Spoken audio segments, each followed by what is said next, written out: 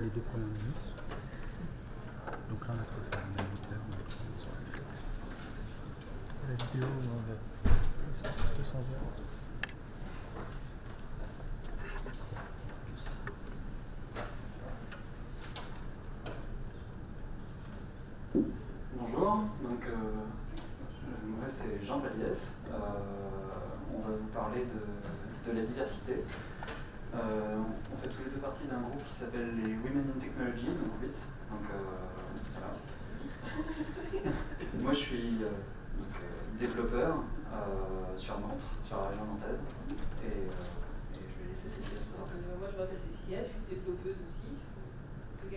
Das, das höre ich nicht.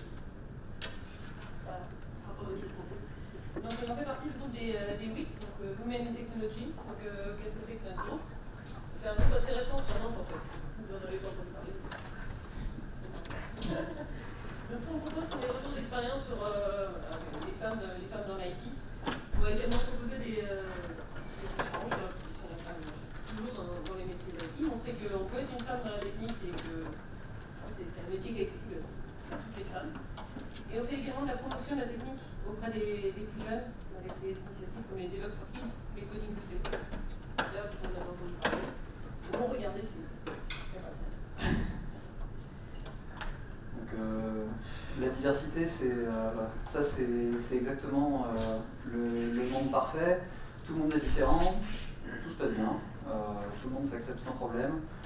Et euh, ça, pose, euh, voilà, ça pose de problème à personne, et, c'est évidemment comme ça partout, euh, dans le travail, euh, dans la société, tout est comme ça. Donc euh, évidemment, en fait, euh, non. Il y, a, pas mal de soucis, il y a, plein de raisons pour lesquelles les gens euh, euh, trouvent des raisons de se discriminer. Donc euh, il y a un grand nombre de raisons, on peut citer l'âge, l'apparence physique, l'appartenance à quelque chose, que ce soit une religion, une ethnie, une nation. Donc on peut avoir aussi l'identité sexuelle, l'état de santé, enfin, le sexe, le fait d'avoir une grossesse ou pas, euh, voilà, bref, le handicap, euh, même le patronyme, le nom de famille, ça peut aussi être une raison de discrimination. Enfin voilà, il y a, un nombre de raisons euh, extrêmement élevé et, et on retrouve ce souci de discrimination un peu partout, que ce soit dans la société ou dans le monde du travail. Donc les- ici, là, on vous présente euh, les raisons principales euh, citées par les victimes de, discrimination. Donc euh, les raisons où les victimes ont senti que c'était pour ça qu'elles étaient discriminées. Donc les principaux critères qu'on voit ici, c'est en première partie le sexe, donc à 32%, en sachant que par rapport à l'étude passée, c'était déjà en croissance. On a aussi l'origine ethnique, donc en jaune ici, qui est à 28% et qui lui aussi était en croissance, donc euh, et même en croissance forte. La grossesse, par contre, ça reste stable à 20% à peu près, à 21. Et euh, la nationalité euh, et les convictions religieuses en croissance aussi à une vingtaine de pourcents. Alors quelque chose qui figure euh, pas parce que c'est un pourcentage extrêmement faible, c'est l'apparence physique, mais qui pourtant est en croissance forte. En fait, c'est une apparition. Les gens maintenant se, plaignent d'être discriminés sur leur, apparence physique. Donc euh, voilà. Après, évidemment, c'est assez biaisé parce que toutes les victimes euh, ne, ne, le disent pas qu'elles ont été victimes, ne viennent pas se plaindre. Euh, on a 40%, c'est une estimation, hein, 40% des victimes de discrimination qui, se taisent, qui ne disent rien. La plupart du temps parce qu'elles estiment que parler, en parler, ça n'aurait rien changé. Donc prenons un exemple immédiat, par exemple l'âge. Il y a beaucoup de gens qui vont se dire, bah, voilà, on me dit que je suis trop jeune.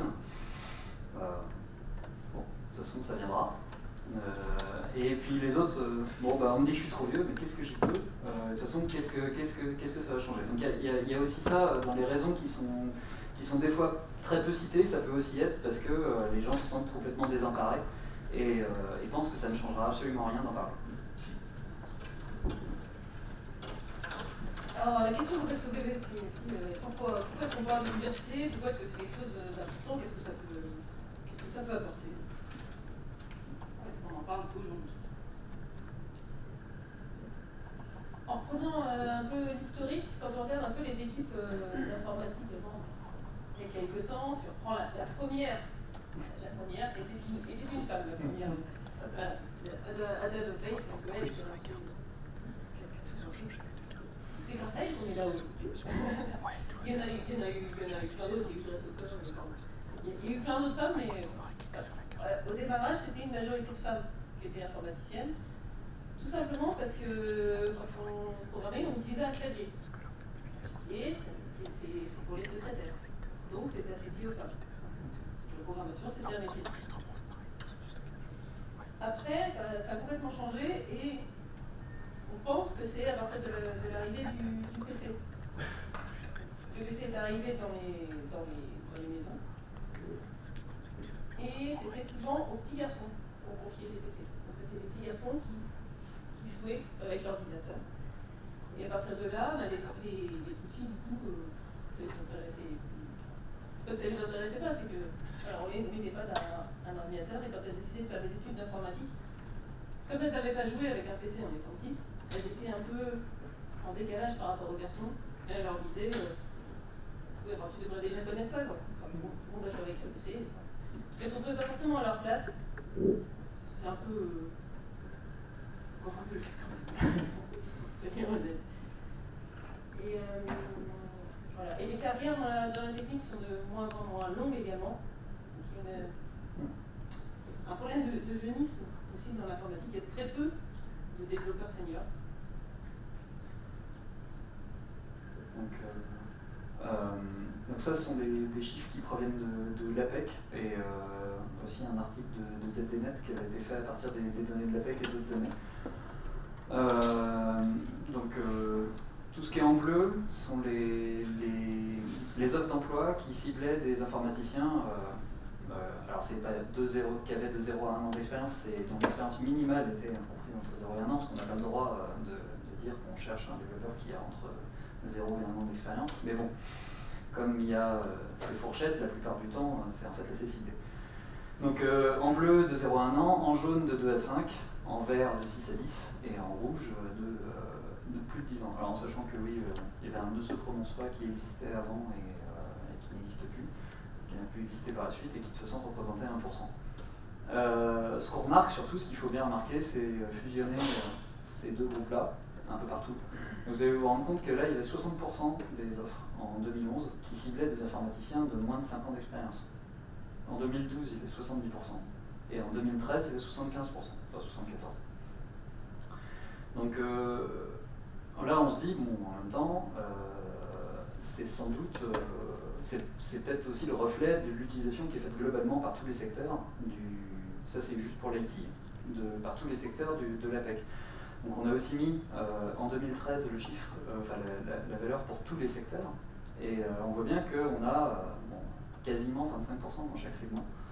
Donc quand on fait la moyenne sur tous les secteurs, globalement les gens recrutent à peu près à égalité des cadres qui ont entre euh, 0 et 1 an, 2 et 5, etc.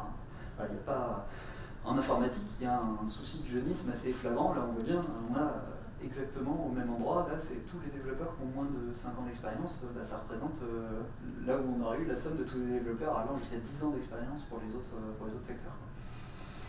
Donc, ce qu'on voit aussi surtout, c'est que bon, bah, voilà, on a quasiment euh, 45% de développeurs de moins d'un an d'expérience qui sont, qui sont recrutés. Donc voilà, il y a vraiment quelque chose au niveau statistique, en tout cas, avec le jeunisme dans l'informatique qui se voit tout de suite. C'est-à-dire que on voit bien que euh, vieillir dans une carrière technique euh, en informatique, c'est assez difficile. Alors après, il y y a plein de moyens de trouver des, contradictions à tout ça, comme par exemple le fait de dire qu'en informatique, un poste euh, pour un développeur de, de plus de 15 ans d'expérience sera rarement mis, par exemple, sur un site d'annonce et sera passé un peu de la main à la main.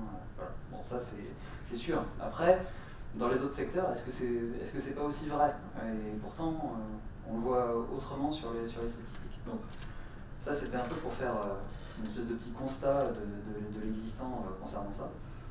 On a aussi des constats concernant, par exemple, le- les femmes dans l'informatique, hein, qui, sont de moins en moins présentes, enfin, toujours aussi présentes, mais il y a de plus en plus d'hommes.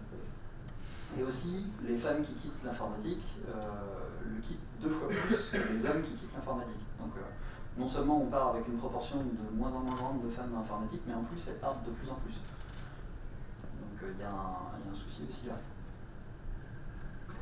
Donc, après ce constat, très, très positif, on va essayer de voir quels sont les avantages de la diversité.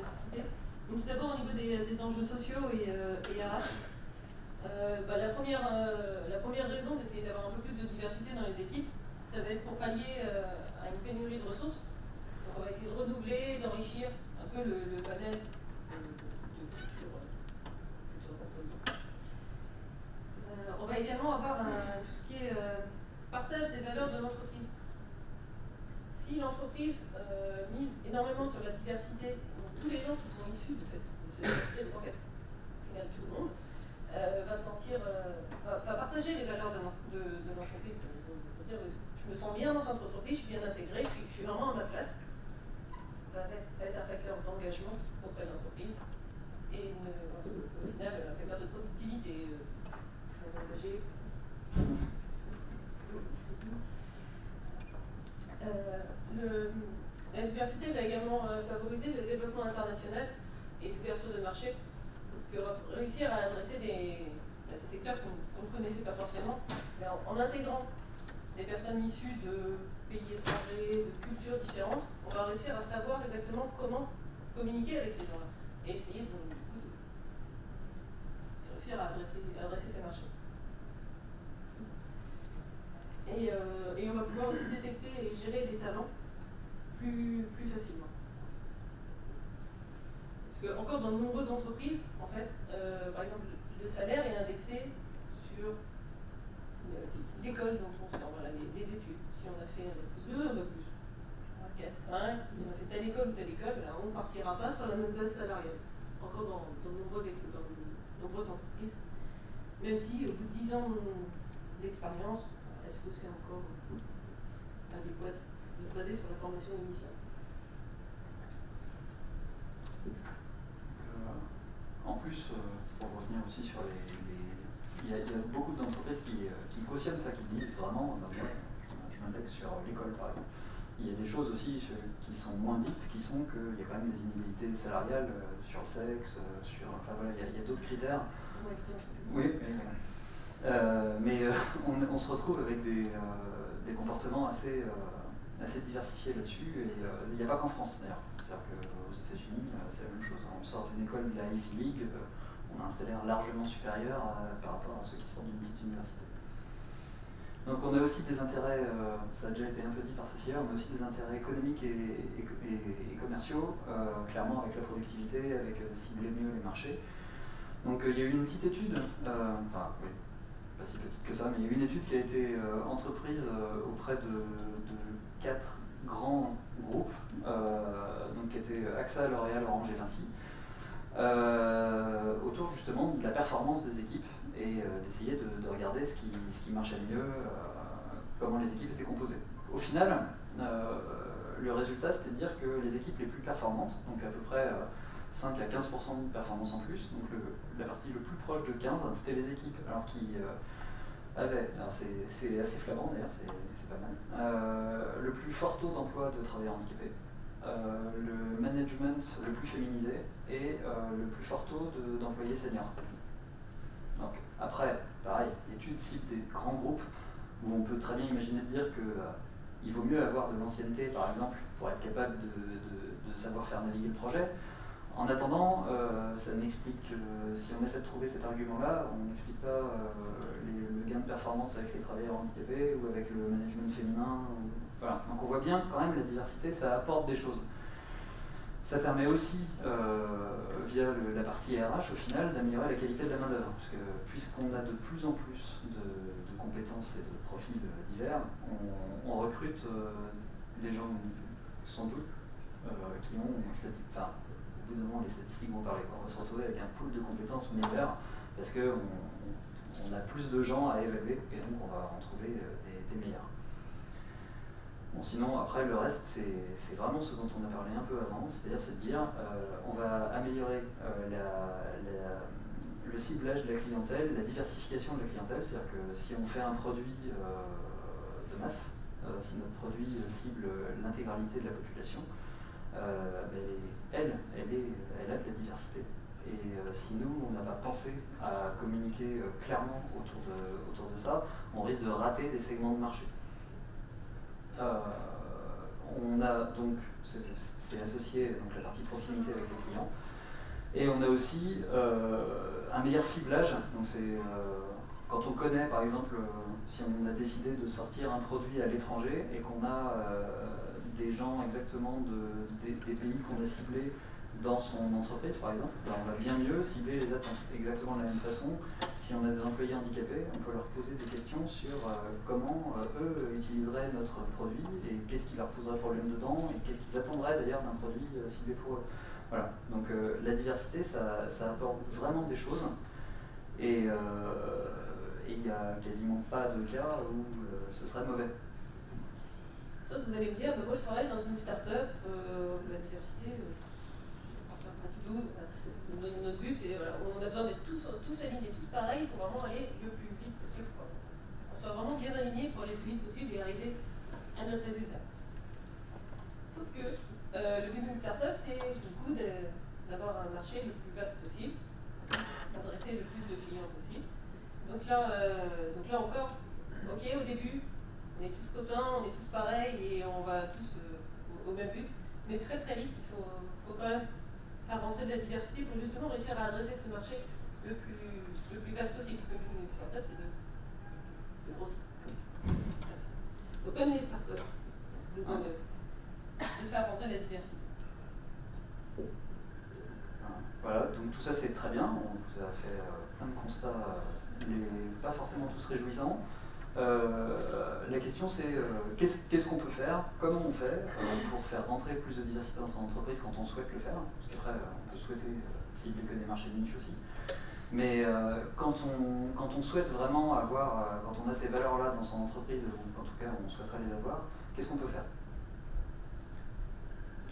Donc la première, étape, c'est lors du recrutement. Qu'est-ce qu'on peut faire lors, du recrutement On va vous donner quelques exemples. Euh, la première chose, c'est de faire attention à l'image qu'on va donner de, notre entreprise, sur les supports de communication, sur le site web, sur les, prospectus qu'on va pouvoir envoyer. Est-ce que notre image Bon là, euh, voilà, moi pour les prospectus, je pense tout de suite à Windev, je ne sais pas vous, mais voilà. Euh, c'est-à-dire que voilà, s'ils sont là, euh, on pense très fort à eux à chaque fois. Bon, par contre, eux, je suis curieuse de voir la diversité dans leur équipe. En fait. Par contre, un truc qu'il faut reconnaître, c'est voilà, nous on essaie aussi de, ce qu'on va vous dire dans le comment, c'est comment aussi éviter de faire des choses inconsciemment. Bon là, je pense que dans le cas de Windev, ils font les choses sciemment. Donc bon, voilà.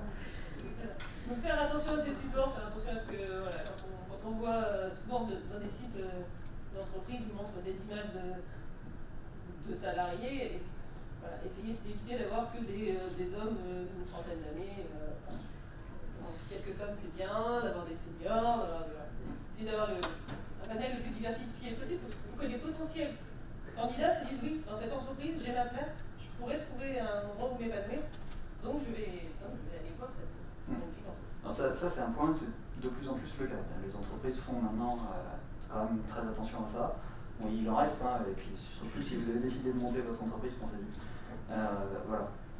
Il y a quelques entreprises qui ont mis en place aussi des ambassadeurs de la diversité, donc c'est des gens qui vont euh, expliquer leur parcours et montrer aux, toujours aux, potentiels candidats que eux, ils sont peut-être d'un ils ont un, parcours un peu atypique, disons, et qu'ils ont réussi à rentrer euh, dans l'entreprise, qui s'est épanouissent encore et que voilà, il n'y a, pas de souci. Euh, au niveau des tests de sélection, il y, a quelques, il y a certaines entreprises qui font passer des tests de sélection à l'entrée.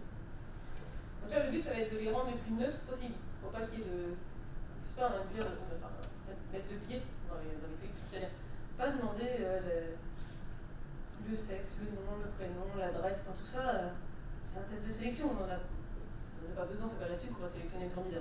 Vraiment faire, euh, si c'est un test technique, on fait du technique. Et du coup, il y a aussi euh, bah, l'anonymisation des. Euh, à savoir qu'il y a une loi qui existe en France, qui date de 2006, sur le le CD, CD anonyme. Donc c'est valable pour les entreprises de plus de 50 salariés.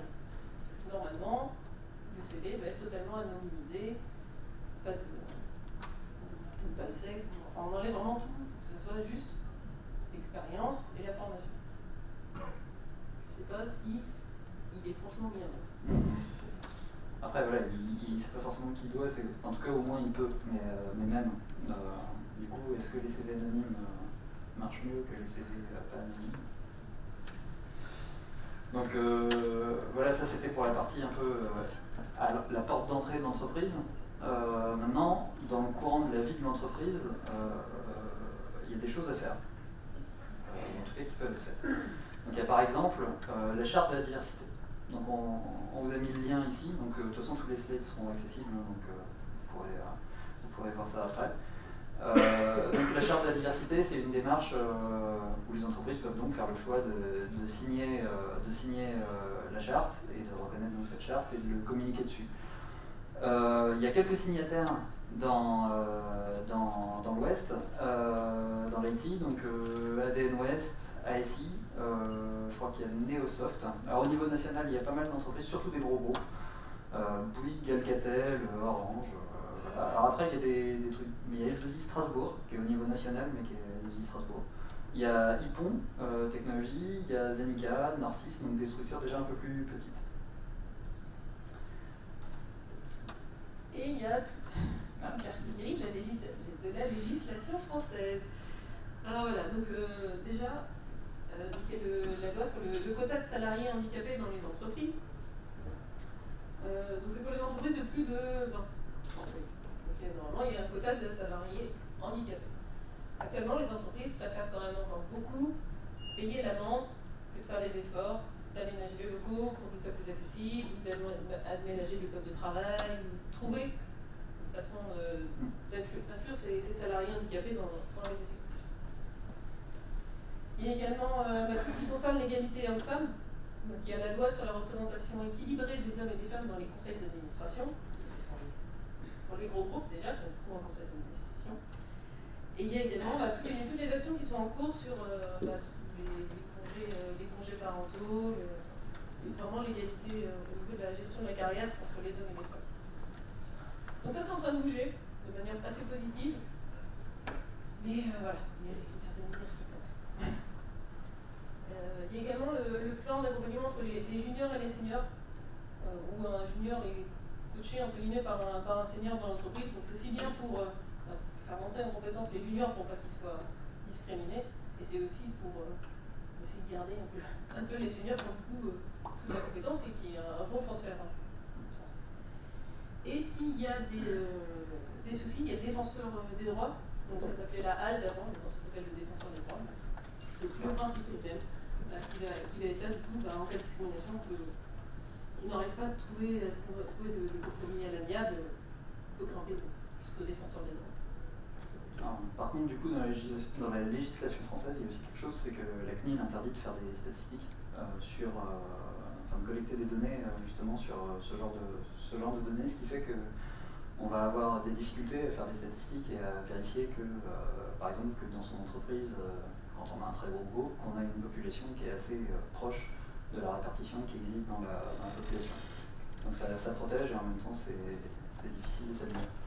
Donc il y, a, des actions euh, faites en Europe, euh, il y en a d'autres dans le monde aussi bien sûr, on a juste euh, ciblé un peu France et Europe. donc en Belgique, ils ont plus, pas mal de choses. Il y a le label égalité et diversité. Donc là, c'est un peu comme la charte, sauf que là, c'est vérifier. C'est-à-dire qu'on ne dit pas juste euh, moi je suis, signataire de la charte, de la charte il y a quelqu'un qui vient et qui vérifie euh, que ce qui est fait ça correspond à, un certain niveau. Il y a euh, des plans diversité, voilà, donc c'est pareil, quand une entreprise décide de mettre en place un plan diversité pour arriver par exemple au label, elle peut être aidée en fait pour y arriver. Donc il y a, un, souhait de l'État à favoriser ça. En Grande-Bretagne, voilà, ils avaient des, des, plans d'action qui visaient à, améliorer euh, la représentativité de certains groupes. Donc les groupes qui étaient ciblés, euh, c'était les personnes handicapées, les personnes d'origine étrangère et les femmes. Euh, et puis en Suède, ils ont fait un organe spécialement chargé donc, de tout ce qui concerne la discrimination raciale. Et donc c'est un organe qui par contre n'a pas de, vrai pouvoir. Par contre, il est capable d'intervenir en tant que conseil dans, dans l'intégralité des, euh, des, des, cas. C'est-à-dire que c'est auprès des entreprises, ça peut être aussi auprès de la police. Euh, enfin voilà, ça va suivre le problème de discrimination de sa, de sa racine jusqu'à sa conclusion qui peut être carcérale. Euh, je voulais juste revenir sur le, sur le plan d'action en Grande-Bretagne. Du coup, avec ce plan d'action, ils ont élu des, euh, des, des, entreprises championnes de la diversité, entre guillemets, qui du coup se réunissent régulièrement pour, euh, pour essayer d'améliorer la situation encore et proposer de, de nouvelles actions à mettre en œuvre. C'est un processus, euh, un processus agile. Donc c'est parfait parce que voilà, c'est donc plein d'actions à faire pour, pour arriver à une égalité professionnelle.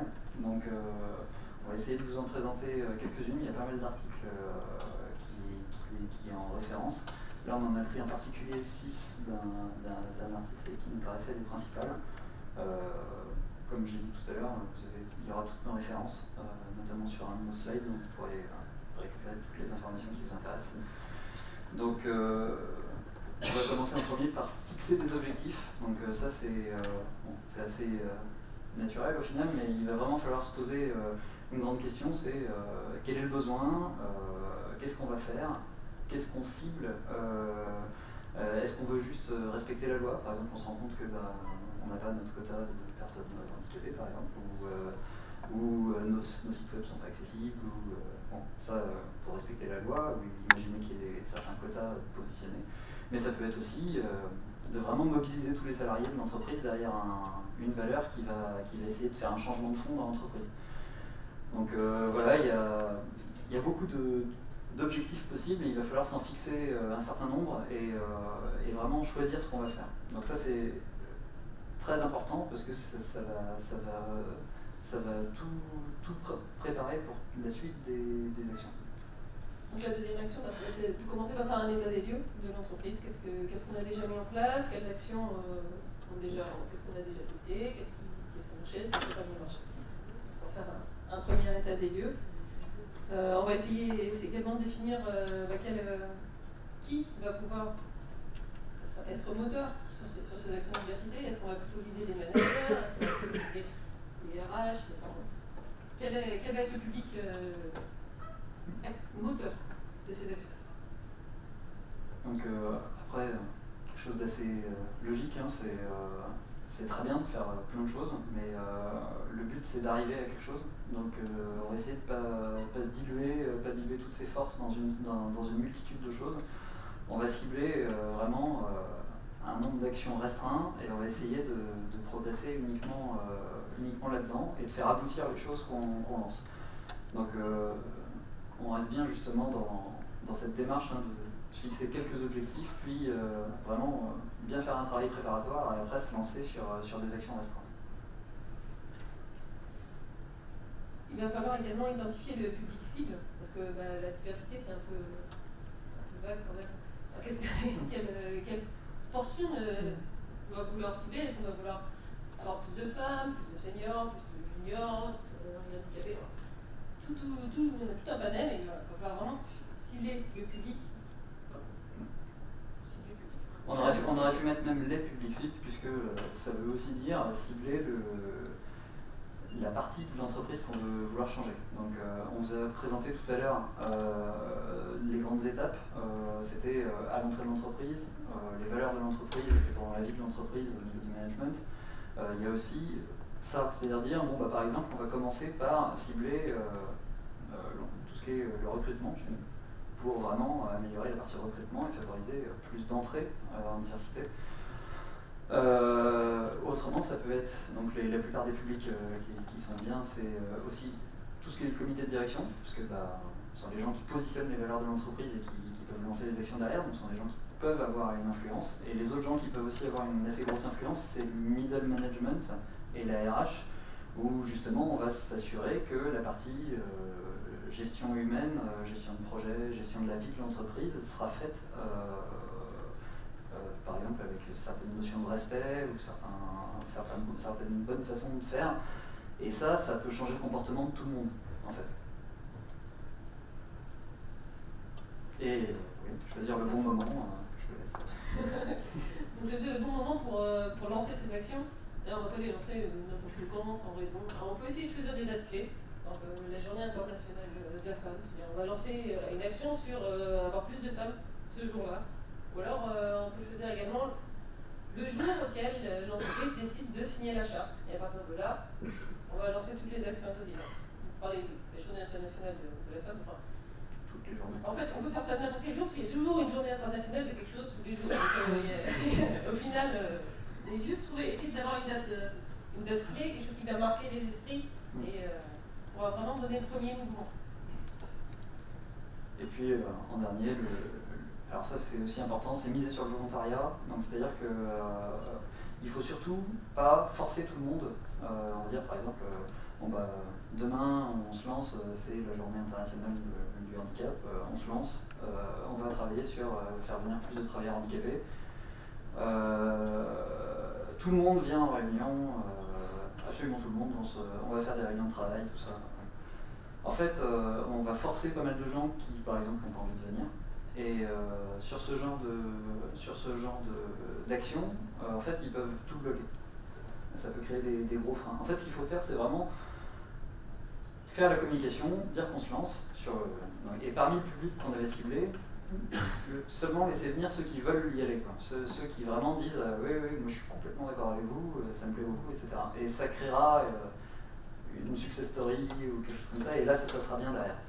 Si on fait vraiment quelque chose de, trop, trop conflictuel ou trop fort, on va, on va vraiment risquer en fait le, blocage total et, et on risque même d'aller pas forcément à l'inverse de ce qu'on souhaitait, mais en tout cas on, on va vraiment pas progresser et on va créer une mauvaise image après pour la suite euh, pour tout ça. Donc ensuite, vous voulez, vous, présenter des exemples concrets, parce que là, on est resté quand même assez, euh, c'est flou. Des entreprises ci, des entreprises font ça, mais qu'est-ce qu'elles font enfin, Lesquelles et qu'est-ce qu'elles font exactement? Donc comment on est au DevFest La première qu'on va étudier, ça va être Google. Donc ils ont mis en place un site sur la diversité. Donc aux États-Unis, ils ont le droit d'avoir des stats sur toutes les origines ethniques. Voilà. Donc ils ont mis un site où il y a toutes leurs stats. Euh, Yahoo aussi, enfin il y a, il y a en fait plein de grosses entreprises euh, de l'IT euh, américaine qui, qui ont- ça. Donc, euh, déjà ils ont, ouvert leurs données, ils ont montré publiquement que bah, y a certains domaines où euh, c'est pas très très diversifié. Et puis ils communiquent euh, vraiment ouvertement dessus. Euh, voilà, c'est en tout cas, euh, voilà, ils donnent clairement leur, leur position. Alors, ce qu'ils ont fait pour essayer d'augmenter leur diversité, c'est qu'ils ont anonymisé complètement leur, leur process de recrutement.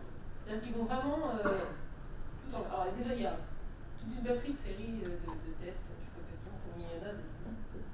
S'il y en a parmi vous qui ont essayé euh, Par contre, un test de recrutement, euh, Il il y a toute une batterie de, tests. Et le comité final, il a accès qu'aux résultats de ces tests. Il n'a pas accès euh, au parcours, euh, enfin, il a vraiment le, le résultat des tests, il ne sait pas comment le, le candidat s'appelle, rien.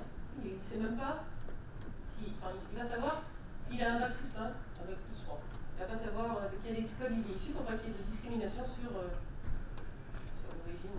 Hmm. voilà. Donc après, dans les tests, il y a- des tests techniques et pas techniques aussi. hein, mais voilà, il y a- ça n'empêche pas non plus de choisir un profil, par exemple, euh, de- qui, qui n'a rien à voir avec le technique. Mais voilà. Euh, ils ont essayé d'enlever toutes les, tous les, tous les, tous les biais qu'on pouvait apporter dans les, dans les process de recrutement. Et euh, au final, ils ont augmenté de près de 30% leur diversité euh, dans les équipes. Rien qu'en anonymi- anonymisant leur, euh, leur process de recrutement. Donc euh, en France, il y a SFR, alors qui a pris une posture euh, assez euh, opposée. Euh, L'idée des SFR, c'est de réduire fortement tout ce qui concerne l'inégalité salariale pour les femmes.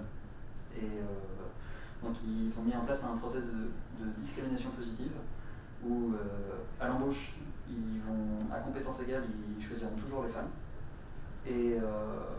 Pour, les, pour, les, pour tout ce qui est promotion et, euh, et- augmentation salariale, euh, ils vont plus faire aller chercher les, femmes qui, qui, où à leur avis méritent une promotion, etc. et encore plus les augmenter, etc. pour gommer les, les, inégalités salariales.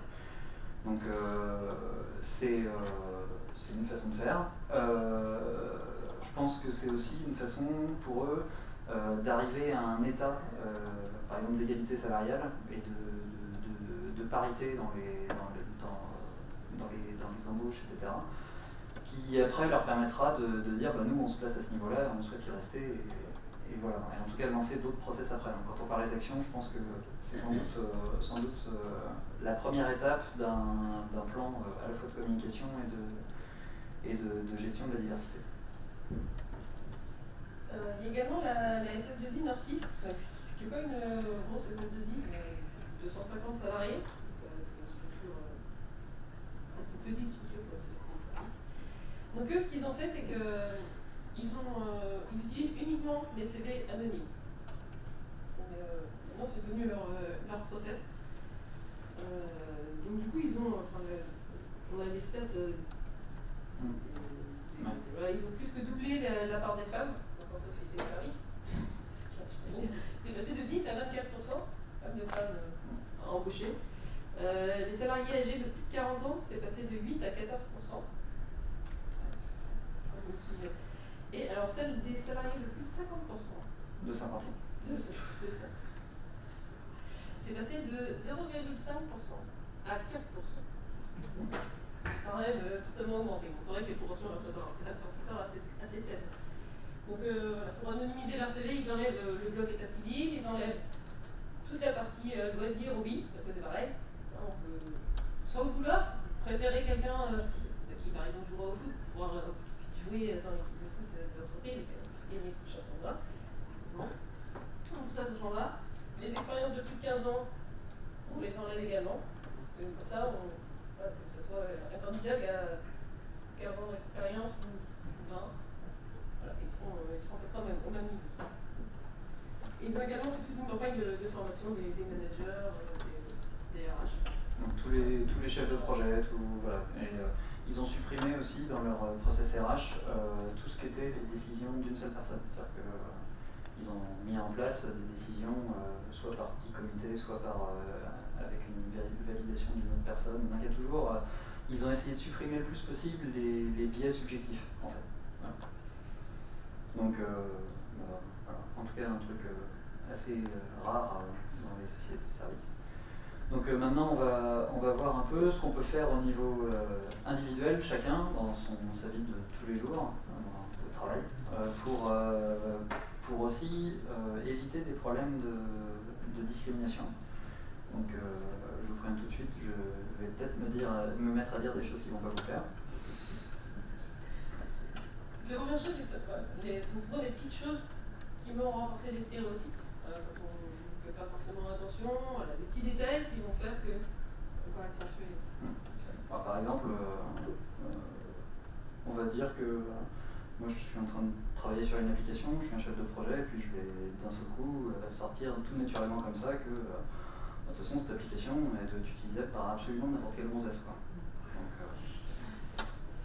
et, ou n'importe quel vieux coton aussi, c'est pareil. Et, euh, et puis bah, tout de suite, euh, je, vais me, poser une question, et puis je suis désolé, euh, surtout tu le prends pas mal, hein, tu vois, ok, mais t'es un, un dégât en fait de l'équipe. Première chose, pour, pour, commencer, il faut faire un peu attention à la façon dont on communique avec les gens. On ne fait pas, on pas forcément attention, des petites blagues, des trucs, et voilà, on rigole tous ensemble, mais bon, faut dire ça 60 fois. En fait, euh, c'est un truc euh, connu en psycho, etc. C'est que plein de petites choses comme ça, même quand on les prend très bien, on peut les prendre. On n'est pas en train de dire qu'il faut arrêter de faire l'humour non plus. Euh, il y a des gens qui prennent très bien des blagues quand ils savent que ça n'a pas été dit méchamment, on les prend bien. Il n'y a pas de problème. seulement, c'est la répétition.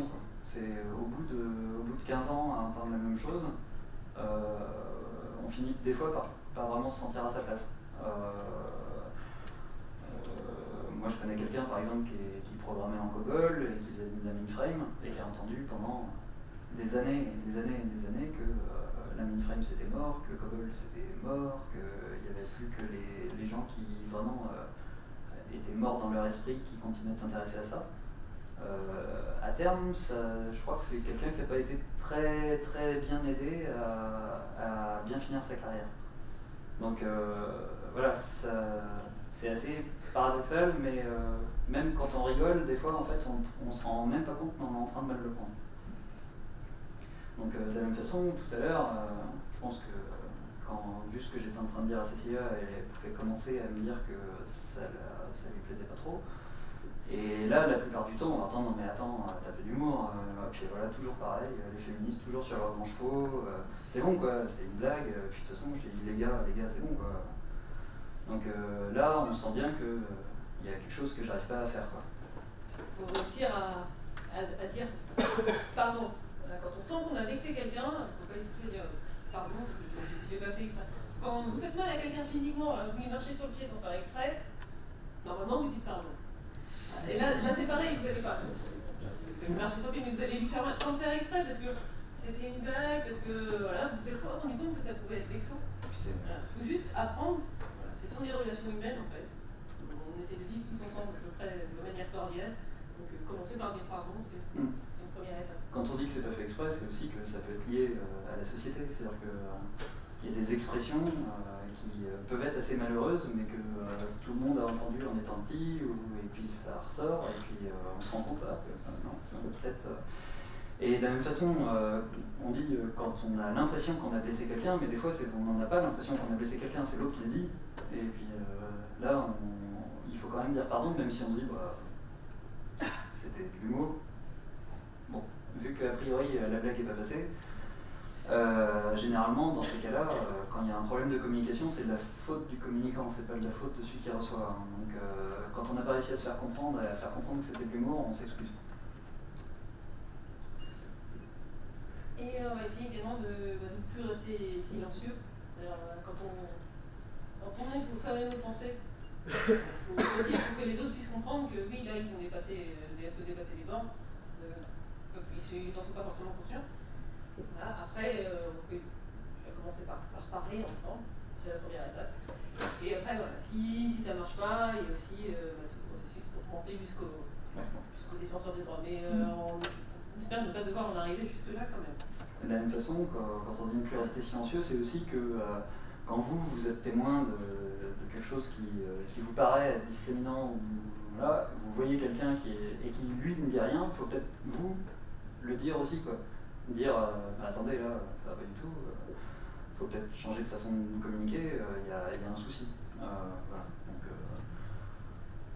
dans, pour moi c'est d'actualité assez récente puisque on, préparait, pendant qu'on préparait cette présentation, il y a eu une remarque dans mon entreprise syndicale extrêmement sexiste et là où d'habitude j'aurais absolument rien fait, je me dit bon, peut-être quand même euh, appliquer, euh, appliquer ce que je suis en train d'écrire dans mes slides et envoyer un mail tout de suite au représentant syndical pour lui dire mais attendez, pour qui vous prenez quoi. Donc euh, voilà. un peu ce qu'on avait à vous dire. Alors déjà on va remercier Jean-François et Léna, parce qu'on n'était pas que tous les deux. Ouais, on préparé. Toutes les, toutes les noms, je en particulier. Jean-François et Léna des, donc, donc, merci oui. Voilà.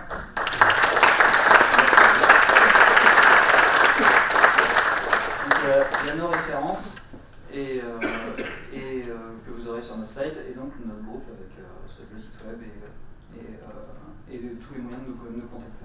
Voilà. Donc si vous avez des remarques ou des questions, c'est le moment. Des indignations. Oui, donc allez-y. Je vais vraiment pas que ce soit mal pris ce que dire. C'est bien, allez-y. C'est bien, c'est bien.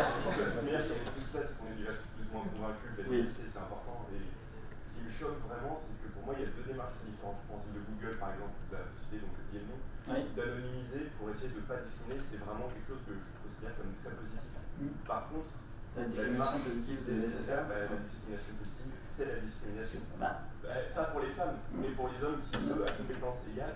Et c'est le même problème au niveau des lois. C'est-à-dire que c'est là, on c'est pas qu'on met le problème en fond, c'est on fait semblant, on veut une diversité, on, on en veut. Alors après, que, les quotas et. Après, on a, nos, on a tous nos, dessus. Euh... Vous avez présenté factuellement nous, ce. Nous, qu'on voulait, c'était, on avait aussi, euh, on voulait présenter un état des lieux de ce qui se faisait.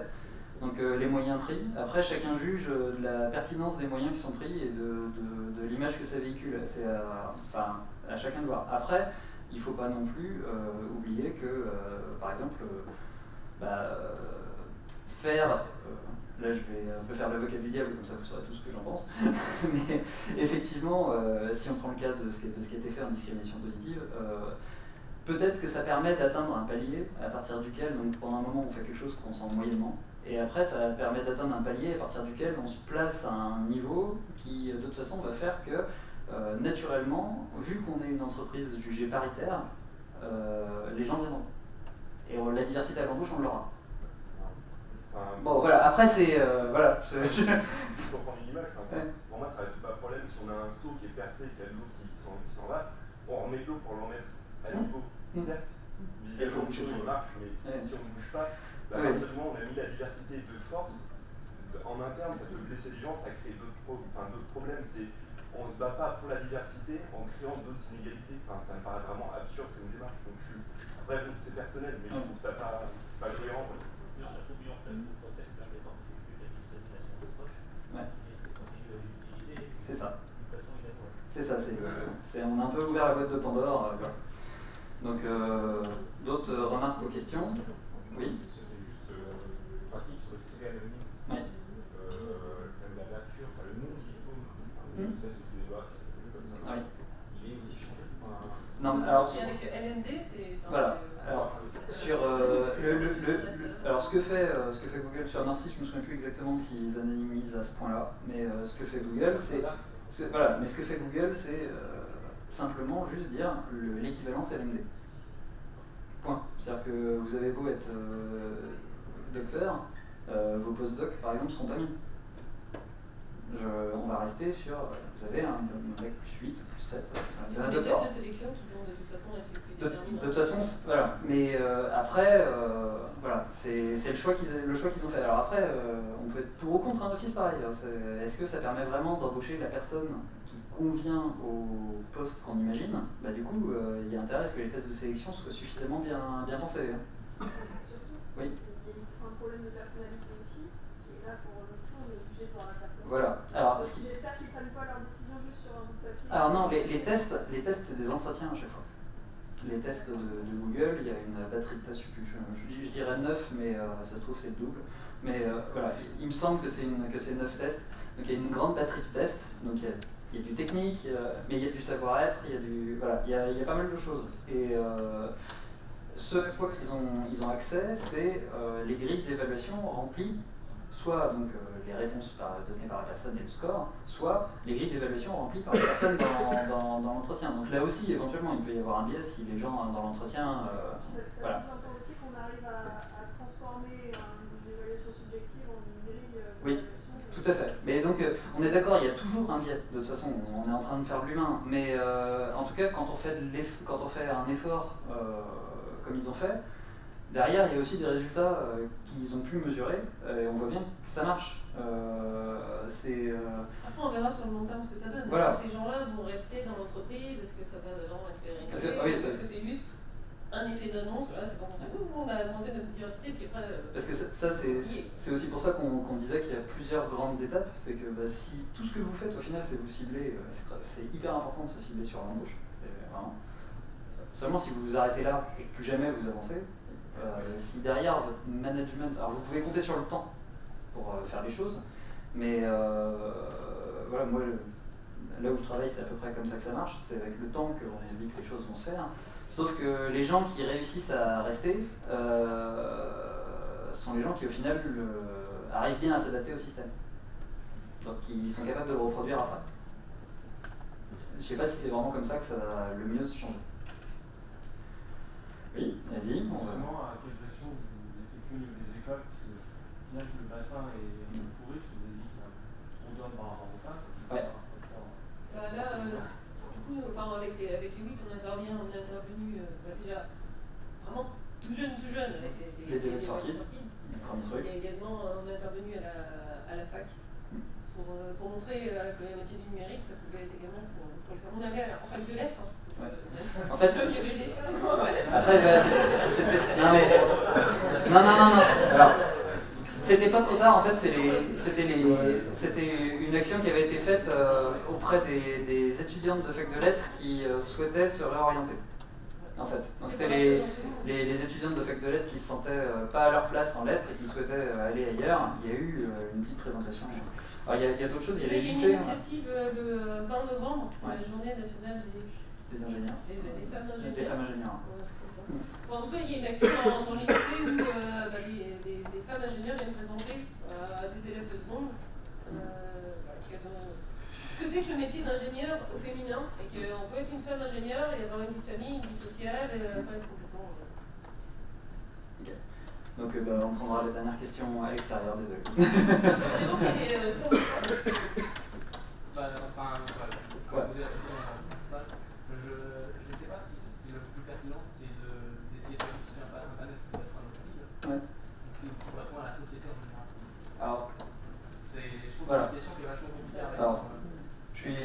d'accord, mais euh, je pense qu'on va, on va en parler euh,